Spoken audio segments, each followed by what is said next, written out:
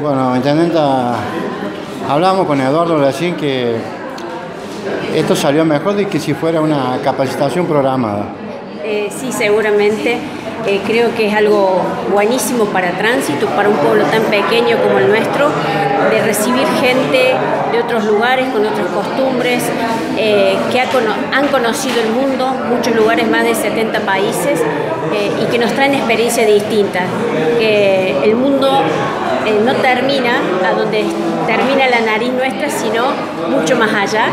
Y, bueno, y la enseñanza, como ellos dos son muy buenos deportistas, la enseñanza para los padres y los niños que el deporte eh, crea valores, valores para la vida, ¿no?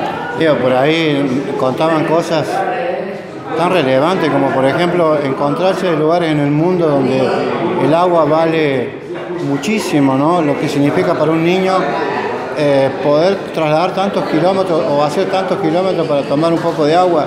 Digo, por ahí quizás como decían ellos, sea una frase que no, que no se pueda tomar en cuenta, pero sí se toma bien en cuenta. Sí, eh, seguramente es algo muy raro para nosotros eh, que cuenten una situación de esa, pero también contaron algo que me llamó mucho la atención, que eh, vieron niños que llevaban su silla en la cabeza para ir a la escuela, porque la escuela no tenía sillas. Eh, es momento de reflexionar, de hablar con el corazón y decir y valorar al que tenemos al lado, de valorar a nuestros padres, de valorar a nuestros hijos, que nos respetemos mutuamente y de lo poco que tenemos, con eso poco seamos felices. No hace falta ser millonario ni ser exitoso para tener felicidad, porque llegado el éxito después te quedas sin amigos seguramente.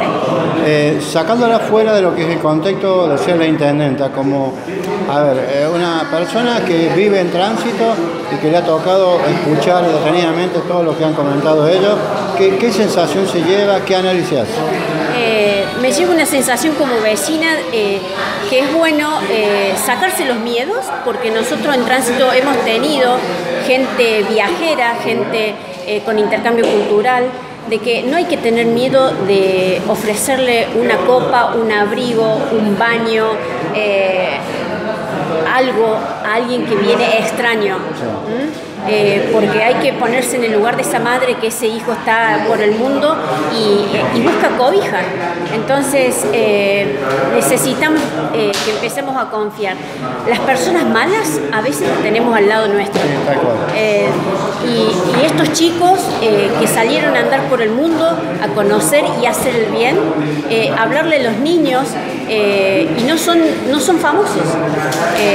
ayer tuvimos la suerte de tener Maravilla Martínez, que es un nombre famoso, con muchos valores también, pero estos chicos son comunes eh, que le hablaron a niños de nuestro querido pueblo eh, de una forma honesta y transparente y sencilla, sencilla, eh, de cómo tienen que ser, cómo tienen que afrontar el deporte, cómo es ser buen hijo, las normas que genera el deporte, que eso nos hace buenas personas.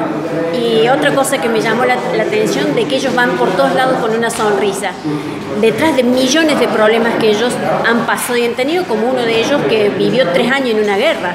Eh, anoche me contó eh, que para calentarse en la guerra eh, tuvo que partir un animal vivo, un perro vivo, para meter las manos y calentarse. Eso es muy duro, así que es hora de que eh, aprendamos a valorar nuestra vida.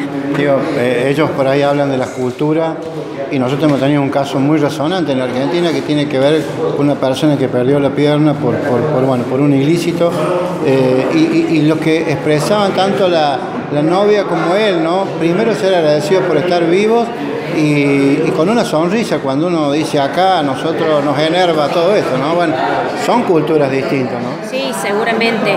Eh, muchas cosas, eh, así como eh, comentábamos con él ayer, con Santiago, la felicidad tiene eso. como cuando, por ejemplo, uno cuenta un acto de felicidad, eh, lo cuenta el primer día efusivamente, eh, de una forma eh, con mucha fuerza, el segundo día ya lo cuenta tranquilo y el cuarto día ya casi que ni lo cuenta, cuando es algo alegre. Las tristezas, ¿por qué tienen que durar toda la vida? Y tenemos que buscar psicólogos para que nos ayuden a salir de esta. O sea, la vida es esta, eh, vivir de tristezas y vivir de alegrías. Así que hay que afrontarlas eh, de una manera práctica, de una manera eh, de darnos cuenta de qué es lo que es la vida y que, bueno, la luchemos de la misma forma. Elisa, como siempre, enorme agradecimiento. Muchas gracias a ustedes.